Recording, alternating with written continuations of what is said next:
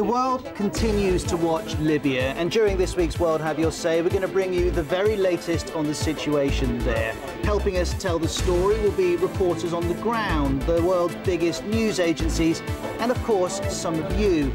If you are Libyan, whether inside or outside of your country, if you can help us tell this story, do call us. The number will be on the screen. Or if any of you are tweeting, use the WHYS hashtag and we'll pick up your comments. Of course, we're going to be concentrating on reporting the story, but we'll also take time to discuss if this week's events have justified NATO's intervention and if all of you have faith in the National Transitional Council being able to deliver a safe and a stable Libya.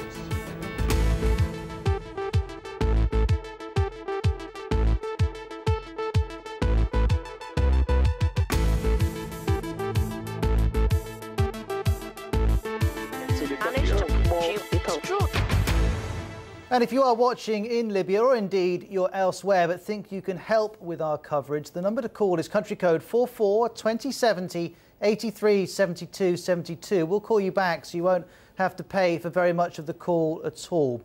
Now let's get the latest from Libya. There has been sporadic fighting continuing in Tripoli and the search is going on for Colonel Gaddafi. He's remaining defiant and has used his spokesman to reiterate that he's still in command of the country. Meanwhile, rebel fighters are making slow progress in their advance on Gaddafi's hometown of Sirte. This despite assistance from the British, who carried out overnight missile attacks on a large bunker in the city. Elsewhere, at least 16 people have been killed in a suicide attack at the UN's building in the Nigerian capital, Abuja. 60 people have been taken to hospital, and many of them are in a critical condition. According to eyewitnesses, the bomber drove a car through security barriers and then crashed into the building. Anti-government activists in Syria say that forces loyal to President Bashar al-Assad fired at protesters in a Damascus suburb after Friday prayers. They've also organised demonstrations today in various other Syrian cities. New figures released in the United States suggest that the economy almost came to a halt in the first six months of this year. That has cut the country's annual growth forecast. We'll find out what the US Federal Reserve head Ben Bernanke thinks about that a little later. He's addressing a conference of international bankers. And the US East Coast is preparing for Hurricane Irene. Seven states, including North Carolina, Connecticut, and New York, have declared a state of emergency with many people urged to evacuate ahead of landfall.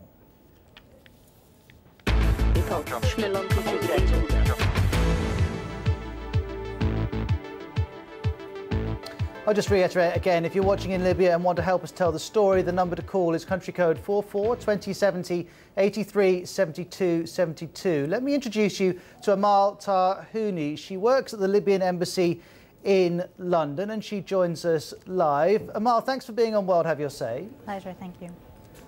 I'm curious, um, which flag is flying over the Libyan embassy in London at the moment? The, the, the, flag of independence, the flag of the revolution, is flying very proudly over the British embassy in London. It was raised some time ago and it's been waving very proudly ever since.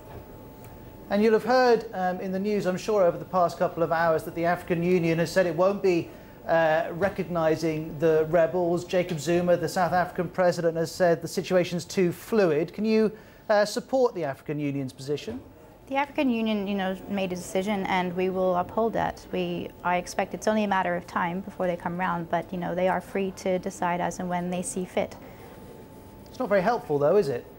It really is just a matter of time. I mean, recognition from the world community has, has, has, taken time, has taken a lot of effort from members of the NTC, and so we're relatively confident that it really is just a matter of time. If those other countries, you know, who have yet to decide to recognize, we, we have every confidence that it purely is a matter of time. And so, you know, there's no Well, thank you very much for joining us. Stay with us. And let me pull up this email from Ahmed in Tripoli. He's emailed the BBC to say, we're on the edge of a humanitarian crisis. Water's been cut off. Gunfire is constant. The rebels are acting like maniacs with AK-47s it's chaos. Well, the issue, the issue of the behaviour of the rebels is one we could possibly raise with the BBC's Lise Doucet. She's in Tripoli and will be joining us live in a few minutes' time here on World Have Your Say to answer some of your questions. In the meantime, let's bring in Sundes, who's a Libyan living in Manchester in the north of England. Sundes, what have you heard from friends and family back home? Um, well, they're ecstatic. They're extremely happy. I was actually talking to my auntie about an hour ago um, who called me, so it seems that the lines are back again. Um, and she's very happy. She's a totally different person. Um, I can I can actually hear the sound of freedom and liberation in her voice.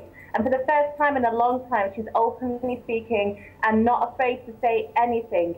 Um, and you know she's talking about going to see family in Misrata soon, which means that hopefully you know um, that that the, the, the, whole of Libya will be liberated and, and people will be free to travel from and back and from uh, cities within Libya. And uh, like I say, she's absolutely ha- happy. I mean, I spoke to my uncle as well um, yesterday, and again, he's on the streets and he's helping to clean up and whatnot. And again, he's really happy and he's really excited. Um, slightly apprehensive because there's pockets of resistance, but he says that they're going to be uh, under control very soon, hopefully. Well, I can hear the euphoria and excitement in your voice, Sundes, but I wonder, Amal, whether uh, and others might want to be more cautious about this because while Colonel Gaddafi is on the back foot, many challenges lie ahead, don't they? Of course, many challenges lie ahead, you know, and people are cautiously optimistic, but it's very hard to explain to people, as has, the euphoria you feel when you're, be, when you're able to talk to family in Tripoli and they themselves are able to talk freely, that it's, for anyone that hasn't experienced it, trying to have a regular conversation and, and get them to explain how they genuinely feel about matters, it's such a relief to be able to finally contact people and have them speak freely and hear them for once be genuinely happy. Cautious, absolutely, mm-hmm. and no one is at all you know, dismissing the many challenges that, that still lie ahead for the entire country but still that sense of relief just to know that the regime is, you know, at its wits' end now. There is no coming back for Gaddafi, and that in itself, you know, let them enjoy that moment.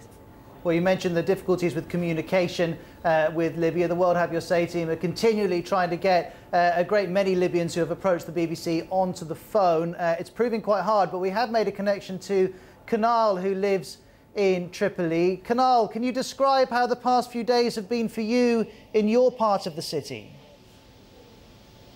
Well, um, uh, in the place where I live, in the, in the last two days, uh, there, were, uh, there was lots of shooting, um, you know, um, and, and, snipers uh, everywhere. Um, of course, I, can't go to the city centre, you know, because uh, the situation is dangerous. But uh, we hear a lot of shooting and, and bombing and, and, things like that. But um, yesterday and today, things have become much quieter uh, than, than the last two or three days. So uh, I think the situation is improving now. But uh, of course, the um, electric electricity supply is cut off. Mm-hmm. Uh, also, the water supply. No water, no electricity. And um, of course, the food as well. Um, people have, um, have bought some, some food uh, before before things have erupted here in Tripoli. Uh, but of course, this is going to um, uh, yeah, this is going to to, to, to finish in, in, in, a few days. And so, so um, you're saying that there's no electricity at the moment. There are problems with the water. You're concerned about the amount of food that's available. And as you're talking on the screen, we're seeing footage of fighting from the Abu Salim area of Tripoli, and we do understand that the rebels, on the whole, now have that area under their control. I wonder if the fighting has reached your part of the city. Has it affected your life? Uh, well, I mean, the area, the area where I live, which is near the football stadium, uh, there hasn't been much much fighting, but, but uh, um, you know, uh, the, the, fighting was, was uh, focused um, you know, near, near the center. Uh, in some, some areas like uh, the Stream Road in Mansoura, um, uh, Nofliin, uh, Fashloom, uh, these are the hot areas. And, and of course, Muslim yesterday. Uh, so the uh, Libyan youth revolutionists uh, uh, went to Muslim yesterday, and there, there was an intense fighting. But, you know, today everything is calm. Um, a, friend of mine who lives in that area uh, was with me um, about 10 minutes, 10 minutes ago, and he said today things are very calm, and, and uh, some of the um, Gaddafi loyalists have, have fled uh, to, to an area called Qasr bin. And of course, there are lots of um, uh, lots of people dead, injured, and, and dead people, you know. uh, they, they, they were scattered on, the uh, on the on the roads, and uh, the, scene in the hospital is full of uh, dead bodies and you know and injured people. So you're saying that there remain dead bodies um, on the road, that you're seeing injured people. Um, but Kanal, you're mentioning the cost um, of this conflict without mentioning uh, the cost to your family, because I know that we spoke a couple of days ago on World Have Your Say's radio edition, and you were telling me that your brother was killed on Sunday. Um, perhaps for our viewers, you could tell us what happened to him. Uh, well, um, my brother got shot, and my other brother were, were driving uh, in their car, and uh, they must take the rubbish away from our house uh, in a nearby area where, where, where people put all the rubbish. Uh, and, and that's in the main road uh, near the football stadium. That's, that's a main road, you know. Uh, so they, they, they put the rubbish, and while they were getting back, uh, and they want they want to turn to turn to our road.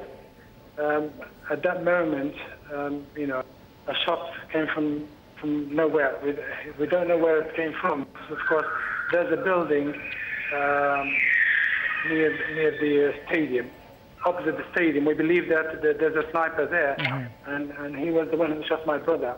Well, we're terribly, Kanal, we're terribly sorry about that. I said that um, on Wednesday, and of course it's worth repeating. We're terribly sorry for your loss, and we appreciate you coming on and, and talking about it again. That's Kanal with us from Tripoli. And Amal, listening to Kanal describing how his brother was killed because he had to take the rubbish out because there's no one picking up the rubbish, there's no one uh, doing anything for civilians at the moment. Do you think that uh, the NTC, the National Transitional Council, should have been ready to put those kind of civic roles, civic support in place immediately that they got control of the capital? Um, I know the NTC has put a lot of planning into Tripoli. It has been on the thoughts of everybody since the beginning of the revolution. The local councils are there. Hearing Kamal speak just reminds me of, you know, a couple months ago it was a situation in Misrata where dead bodies, people weren't even allowed to go out on the street to collect them because there were snipers stationed by Gaddafi forces on the rooftops. And so they were left to, you know, just sit there and having to put up with the stench of the rotten corpses of their families. I mean, it is an atrocious situation that these people have been put in. And I know that the NTC, you know, has worked so tirelessly for liberation of Tripoli. And it, I don't expect it to be long. They are all there to do what they can. These are, after all, their brothers, their sisters, their colleagues, their friends. And everyone is fighting to free them. Thank you very much, Amal. I can see that CNN correspondent Arwa Damon has tweeted 17 year old fighter wants to be ambassador, says the first thing when this is over, I want to see my mother and get rid of this gun. Um, I can see a tweet from the Daily Telegraph's Rob Crilly who says, sounds like the NTC move to Tripoli is rather more rather cosmetic at the moment. They have tent in the Nafusa Mountains, commute in for meetings. Um, and it's worth reiterating there's this African Union uh, meeting in Addis Ababa at the moment. We know that the AU won't be recognizing the rebels while the situation is fluid, to use President Zuma's words. Um, President Zuma has also called for an immediate ceasefire. Um, however, all reports from Libya suggest that call has not been heeded. Uh, we'll get a little break here on World Have Your Say. Do keep calling us though. We'll get through as many of your calls as we can. The number is country code 44 2070 83 72 72. And we'll always call you back so you won't have to pay for too much of the call.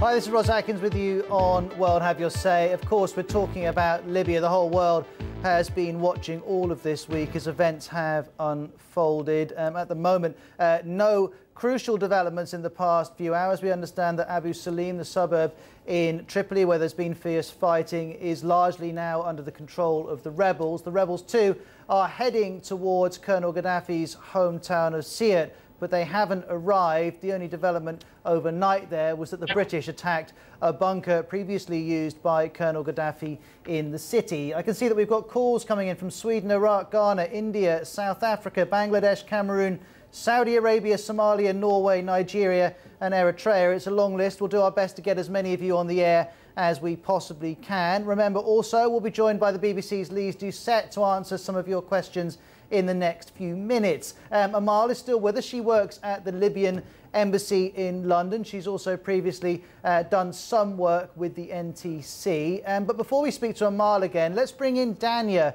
who is live with us from Dubai and has been following the situation in Libya very closely. She has friends and family there. Um, Dania, I know from speaking to you on World Have Your Say's radio edition, your brother is one of the rebel fighters. Have you spoken to him since he arrived in Tripoli? Um, yeah, I was able to speak with him actually today uh, in the morning, and he told me, "Don't worry, everything is okay. Um, he's safe." Because we weren't able to get in contact with him for a couple of days. The telecommunication system was, you know, on and off, and, and it was really hard to get um, people, you know, to, to even contact your family. So, alhamdulillah, we were able to to get him through. And I want to ask him. you more about what he's experienced and what you've heard, but we have made a connection to Nizar in Tripoli, and we're having such difficulties getting through to people on Skype and on the phone that uh, when we do, we must go to them straight away. Nizar, thank you for joining us. Tell us about the situation in your part of Tripoli today. Well, um, uh, where I am in Tripoli, which is quite central, um, there's still a, a, great sense of euphoria as, as to what's happened in the last few days. Um, we are in the midst of a blackout. There is still shooting in and around uh, Tripoli, and there's still no water. Things aren't perfect, but the, the community is uniting, it's coming together, and, uh, and um, this unity is, is helping us through an uncertain period, but a real historic period here in Tripoli. You say there's no water. Presumably there is some. Where are you getting the water that you're drinking at the moment? Well, there is absolutely no running water. Uh, there's drinking water available um, just through what we've all stocked up in anticipation for zero hour, but there's no running water. Uh, the only people who have running water in their homes are those who have tanks, which uh, are lucky enough to, to be already full. And in terms of being able to leave the buildings where you are, is that possible or are you all having to stay indoors at all times? Absolutely possible. I really have to stress, while there are still pockets of insecurity, um, I'm able to travel around through numerous districts in Tripoli, uh, Al-Hadba, Ben Ashur, uh, Mezran, Feshloom, many, many districts uh, in safety. There are a lot of checkpoints, a lot of people are armed, mm-hmm. um, but there is beginning to become relative normal movement on the streets here in, in the central districts. Nizar, thank you very much indeed for giving us your perspective from Tripoli. We're going to get another perspective from Tripoli now from the BBC's Lise Doucet, who joins us live. Uh, welcome to World Have Your Say, Lise. Good to be with you, Ross, and all of our World Have Your Say viewers and listeners. Um, we've told everyone on Facebook and Twitter that you were going to be on taking questions. We've got quite a long list, so we'll get through as many as we can, starting with Sahaja, who's got in touch on Facebook. She's in India and would like to say to you, I've not seen any women or children in the coverage. Are they able to live a dignified life in these conditions? And is there much trauma visible among them? Well, it's a hard time. First of all, thank you for the question from India. It's great that you're, we're following these momentous developments in Libya. It's a hard time for everyone, but it's a very exciting time. I did run into a woman uh, who did, she was in tears because she had tried to take over a new place to live now that the government and Gaddafi loyalists are out most of the city. And then the rebels came in, um, and, she, and she said they told her to leave. And she said, I have four children, and finally I have a place to live, and the rebels pushed me out. But for the most part, most women I've met on the streets, and I've met a lot of children on the streets too, they say they're happy with what has happened. I think it's a good thing for everyone if Libya is a safe and a prosperous and a country which feels proud of its leadership. And it seems the majority of people want that to be a leadership in a post-Gaddafi era. Here's another question for you from India. Ramath would like to say, when will we stop calling them the rebels? Well, in fact, that's what the rebels always say to me. They say we're called freedom fighters. And it's a good question because every time I say it on air, I'm thinking, when do you make the transition from being a rebel to being a government in waiting to being the real government? I think it's a good question, and, and you're going to see it and hear it on the BBC shortly when they come to the capital and they start taking charge. But for now, we still have the two sides because they're still fighting between the pro Gaddafi fighters and the rebels. So for the moment, while it isn't over, we're going to have to keep those distinctions clear. Lise, thanks for that answer. Rama, thank you very much for tweeting us that question. Let's shift from India to Kenya. Here's an email from Steve. He says rebels appear to be targeting black-skinned people in Tripoli. They think blacks are sympathizers of Gaddafi. This is wrong. It should be condemned, and the leadership of rebels should tell their fighters to stop it. Now, the reason we read this one to you, Lise, is that we've noticed online there's a great deal of speculation about whether sub-Saharan Africans have been fighting for Gaddafi and whether they've been targeted by the rebels. What can you tell us? Uh, what firm facts do you have on this issue? This is a very, it's a very good question because it's a very sad reality. And I've noticed this ever since I began coming again to, to Libya in February when the uprising began.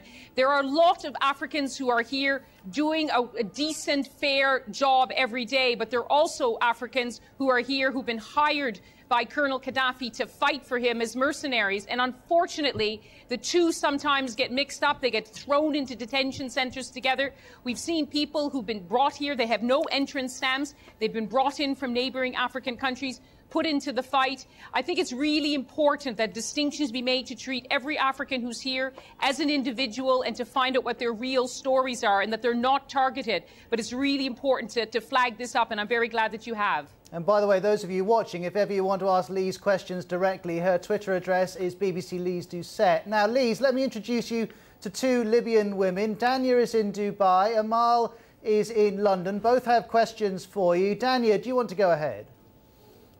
Yeah, um, first of all, I just wanted to thank you for coming to Libya and especially Tripoli and reporting what is going on because a lot of people are misinformed and, you know, are unclear about what the situation is in Tripoli because Gaddafi has such a, you know, a tight hold on the media. Um, my question to you is, how what how much of a change have you seen with you reporting media when Gaddafi was in power in Tripoli and when the revolutionaries were in power in Tripoli, are in power in Tripoli now? And you, first of all, great, great to be talking to you across across the airwaves uh, on, on, the BBC. And I have to say that me and my colleagues have been treated with great kindnesses, uh, whether we were in Benghazi or in Tripoli or traveling between the two. Great, great people, and we hope for the best uh, for for the Libyan people. Now, in terms of the reporting, I would hope, and but it's up to you, our viewers, to decide. Is that I would hope that the way the BBC and other media report this story is the same, whether the Colonel Gaddafi is in power or whether the, the rebels or the new, the new leadership is in power. We have to apply the same kind of standards. And we've been reminding ourselves. For example, Amnesty International has done a report, and the ICRC has also flagged up that abuses have been committed by both sides. It's important that we apply the same yardstick to both sides in this conflict because the whole story has to be told. But I also have to tell you, Daniel, that since I've been here, a number of people have come up to me and said, one guy said, hello, my name is Tony, or in fact, I use the name Tony on the BBC, but now I can tell you what my real name is because I'm no longer afraid to give my identity. So it makes it a lot easier for us to tell the story when Libyans feel free and safe to tell the story. Lise, thanks for answering that question. Dania, thanks for asking it. Amal, you'll have to um, hold your thoughts till um, after the half past news because we're coming up to that now. I can see um, some news just in. The radical Islamist group in Nigeria, Boko Haram, says it carried out the attacks in Abuja on the UN offices there. We'll bring you more on that here on BBC World News.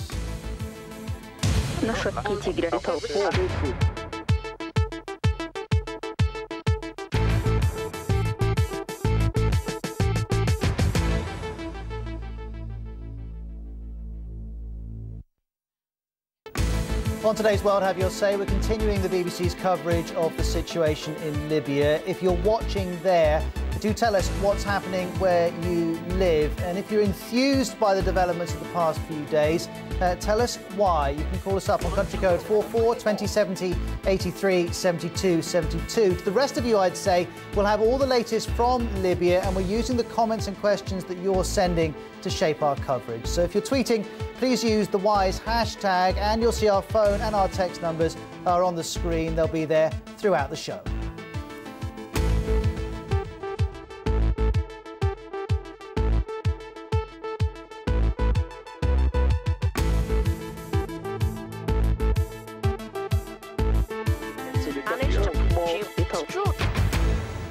And as everyone World Have Your Say, if you do call us, we will call you back, so you won't have to pay for very much of the call at all. But before we do speak to some of you, let's bring ourselves up to date with the latest from Libya and elsewhere.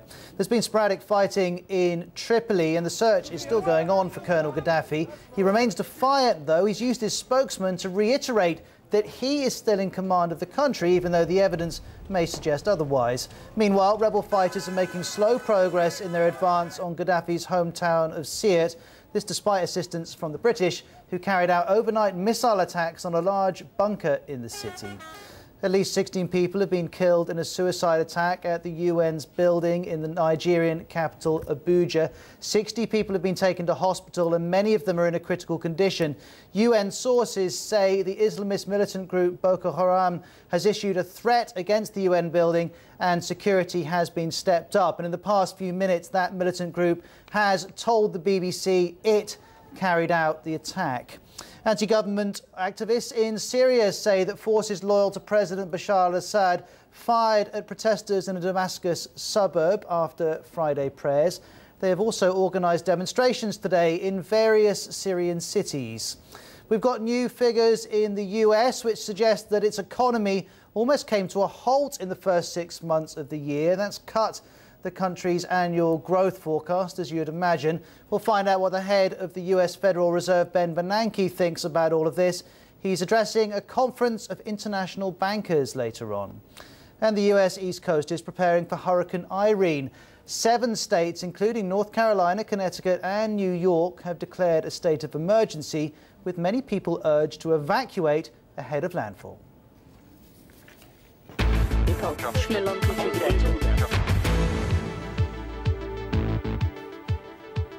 Well, during the first half of World Have Your Say, we've had calls from France, Tanzania, Mali, UAE, Canada, Sierra Leone, Finland and Sudan. We'll try and get some more of you on the air in the next 30 minutes. Remember, if we don't get you on uh, during this edition, we're also on the radio for two hours on BBC World Service Radio later on, and we'll be back here on BBC World News at 18.30 GMT for World Have Your Say Extra. Here's an email from Mustafa in Minnesota. Actually, not an email. He posted this at facebook.com slash World Have Your Say. He says, since when has the West and NATO promoted freedom, human rights, or anything positive?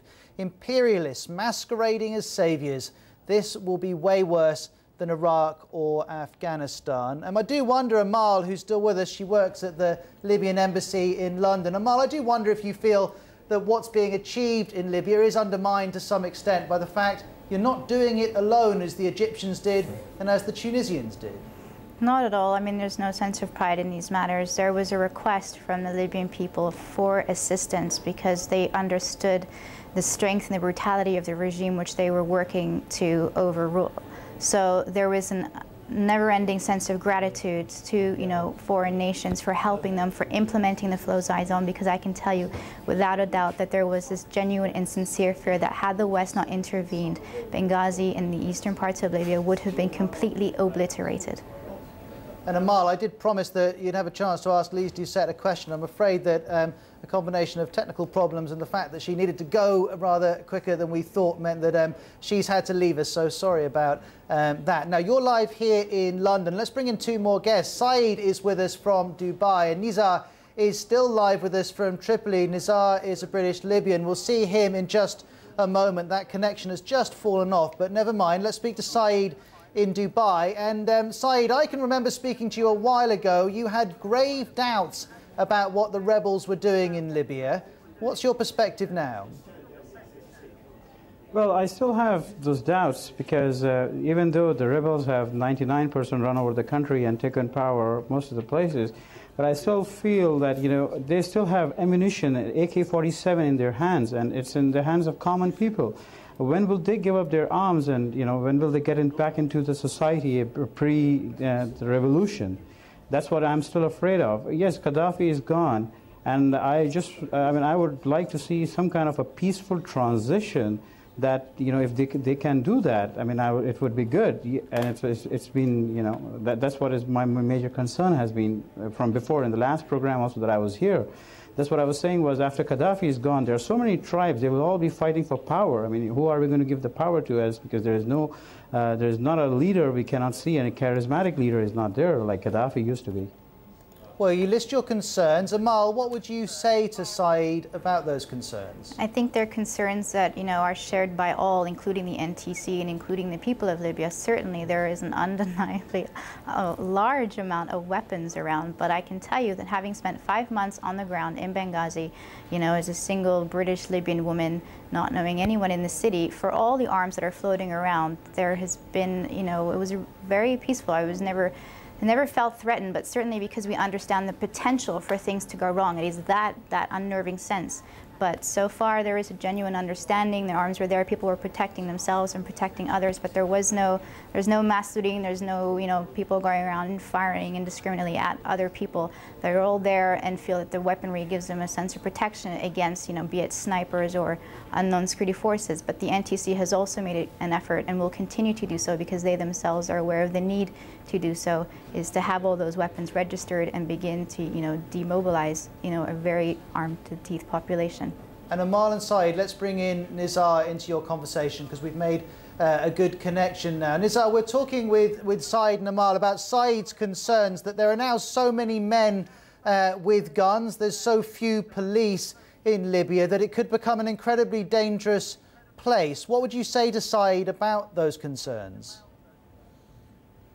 Well, it, well, it's definitely a, a, valid concern, but but we, we have to see um, see this through. It's unfortunate that this uprising, this revolution, had to take uh, an armed um, appearance, if you like. It, it, had to become an armed uprising. It's a shame. And you're right, there are a lot of arms on the streets, certainly in Tripoli. Um, but there is a big drive to see this phase of liberation through, this armed phase through in order to get to a phase um, where we can implement a, a gun amnesty uh, and get into a more peaceful, more transitional, democratic uh, phase of, of Libya's future. Saeed? Well, well, this is very good. I mean, I mean, it, it, sounds very good, but can it be done with so many different factions in Libya on the ground? And the ground reality is, is, is extremely different than what we are sitting out of Libya and discussing about this. And my major concern is now that we have a, I mean, the Libyans, uh, the NTC has a common enemy, and that's Gaddafi right now. And after this common enemy has been eradicated, uh, what, who becomes the common enemy? How do they unite with each other? And, and how will they de-weaponize? I mean, you know, the, the NATO dropped weapons from air, and, you know, and, the, and, and the, uh, how will NATO come back and pick it up? Will they give back? I mean, there are so many things that Okay, so there, be, there, are two clear, clear issues there. One, Libyan unity, one, arms. Amal, let's look at Libyan unity. Do you think there's a risk your country might shatter now Gaddafi's not there to keep you all together? I, I, don't have that here. I didn't have that fear to begin with, and I don't have that fear because beyond the you know the united animosity against Gaddafi, there is also a unity about the, where they want to go. Everybody there is fighting for the same cause, and that alone is enough incentive. Everybody understands what needs to be done. Everyone is aware of the challenges, and there's no one saying it's going to be easy. Certainly, there are going to be tensions. There are in any national society, but that sense of unity, I genuinely believe, you know, it may take some time and it won't be easy, but I, there's no way that they're going to let this country fall apart after having just liberated it from 42 years worth of autocratic rule. Nizar, come in here. Can there be unity in towns like Misrata, Zawiya, where there's been such bitter fighting? I, I, can, I can tell you this. Right here, where I am right now, on the streets of Tripoli, the unity, the coming together of communities is, is such that I have never seen in this country. Um, there is no electricity, there's no running water, there's a shortage of food, there's insecurity. But, but the joy of the street and the community spirit that exists can only give us confidence for the future. Um, it can only it can only be positive for, for the for the coming. I believe that the strength of our unity, the strength of our desires to reach this common objective, will get us through. And I can and I can reassure you, I can assure you this: the people that are armed on the streets of Tripoli today would like nothing more than to give their weapons back Absolutely. or put them away. Saeed, do you feel like you've had some of your concerns addressed? Yes, uh, I, I, it's, a, it's a very positive and very encouraging, you know, uh, comments that's coming out, and uh, I, I, really hope that all the population in Libya can can, can, can, can unite under this umbrella because you know uh, the freedom that they're tasting after 42 or 43 years is going to be, you know, the, uh, it, it's it's just overwhelming. And I just hope that they, that they can control their emotions and the freedom that they have got and constructively put their energy into some kind of a government where, you know, they can just be better than what they were during the Gaddafi period. Mm -hmm. And Gaddafi was not, you know, Gaddafi was bad. I'm not a pro-Gaddafi person, but he had a system that he had formed and the system was running. Now, all they got to do is, you know, get all their heads together and try to uh, not make it another Iraq or another neighboring, uh, you know, any other country because we have a history and we have a geographical background. Is not that far and we are obviously the same religion, same groups, the same Africans and Arabs and so uh, I, I really hope and I pray that uh, yes, this thing will resolve by itself and people will de weaponized by themselves and voluntarily give up their weapons because there is no, there, there is no, uh, uh, what should I say, there is no list or there is no um, um, list of weapons that has how much weapons have been dropped into uh, And I suppose, by, I mean, we've NATO. heard anecdotal evidence of rebels saying the moment this is over, we want to get rid of our guns, but of course there will I be others so. who would like to hold on to them, and it remains to be seen what happens in those circumstances. Saeed, thank you very much for the moment. Nizar in Tripoli as well, and Amal here in London. We've had a call from Cairo. I think this is uh, for you, Amal, saying um, we've changed the flag at the Libyan embassy in Cairo, and we're very proud about it. Um, that call was taken by the World Have Your Say team, and Ben is one of them, uh, with them as well. Ben, what kind of calls have you been taking? Well, most people broadly pleased with the direction of things in the last week in Libya. I was just talking to uh, Bakary, a Gambian in New York. He says he wants to commend what he calls the gallant sons of Libya. Some people also calling in to back Gaddafi, though. Taita in Cameroon, Abdullah in Saudi Arabia. He said uh, Libyans will regret it that Gaddafi was an amazing leader for so many years and that Libya will be like Somalia, he says. And also people calling to comment on the African Union's role. Lady in Tanzania is disappointed uh, that the African Union haven't recognised what he calls the changes in Libya, although Amir in Switzerland supports their stance. Now, a radio edition in just over an hour on BBC World Service Radio will discuss these things too. We're also going to talk about the other huge story on Twitter and Facebook uh, you're talking about today that's the explosion in Abuja earlier on, and people reacting to the claim of responsibility that's uh, been had in the last hour or so, and people also posting appeals to give blood for the injured in Abuja. I've just seen this tweet from Jamal. Uh, the devastating bomb blast, he says, in my nation's capital, Abuja, was a terrible experience, and it breaks my heart. Ben, thank you very much indeed. You're talking about that claim of responsibility. This is Boko Haram, the Islamist group, has told the BBC it carried out uh, the car bomb attack on the UN office in Abuja. Let's pull up um, this message from Emmanuel. He phoned us a little earlier to say, My sister works for the UN and I work nearby. I heard the blast and rushed down to check on my sister. She was okay, but I saw so many injured people, so many dead bodies. It was terrible. And we'll talk about that further on World Have Your Says radio edition. We'll be back here on BBC World News Television, though, to talk about the situation in Libya a little further after this break.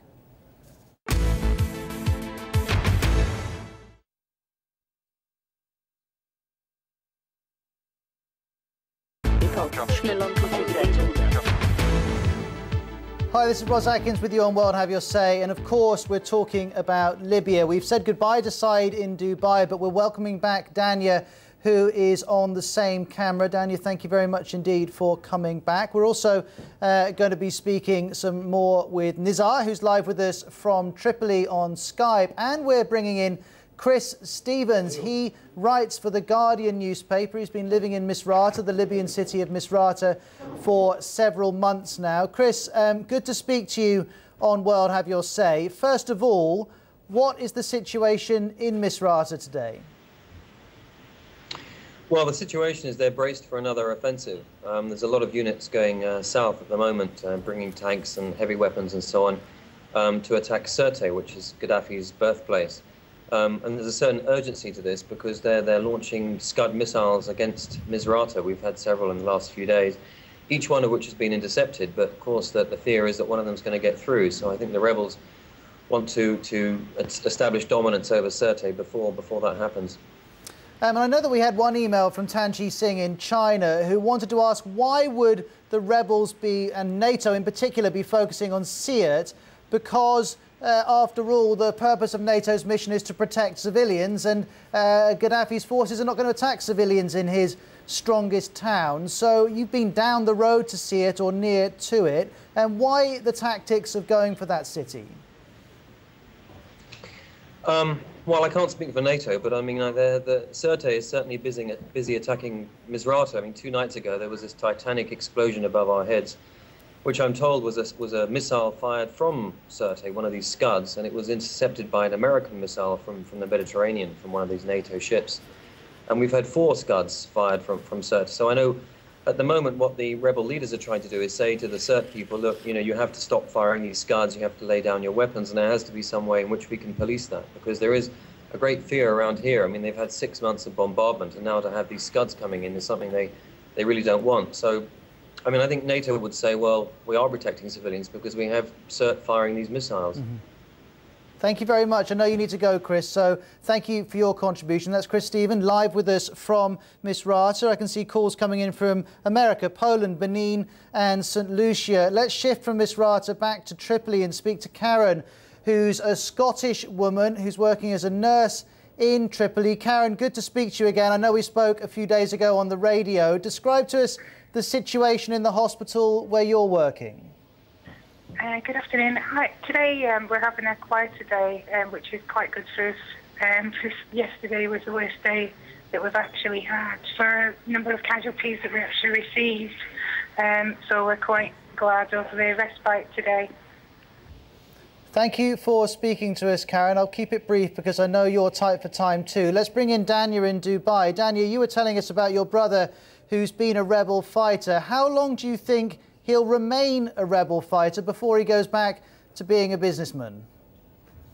Um, he wants to stay as long as possible, and his main goal was, you know, leaving Dubai. He's not going to come back until Tripoli is free, and even then, he's he wants to stay back because I mean, we've been exiled from our country for so many years, so why leave it? And the whole point of this whole revolution is to build our country back and to make it, you know, the best country possible.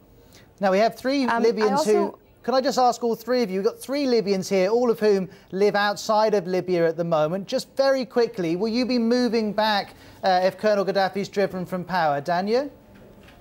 Yes, of course, without any question. Amal? Yeah, I've, having spent five months there, I can't wait to get back there and can help contribute in any way I can. And Nizar, you're a British Libyan. You're temporarily in Tripoli. Will you be making that your permanent home? Um, I, am not entirely yet sure. Um, certainly, I'll be back and forth, but um, but my main objective. And as your Skype line gives up the ghost, Nizar, the timing is very good. We've been very lucky speaking to you on that line. It sounds like it's finally um, packing up. Thanks to Amal, thanks to Dania and to Nizar, and of course to all of you who've been calling up. We've had a great many calls. We'll carry on the conversation on BBC World Service Radio in just over an hour. Speak to you very soon. Goodbye.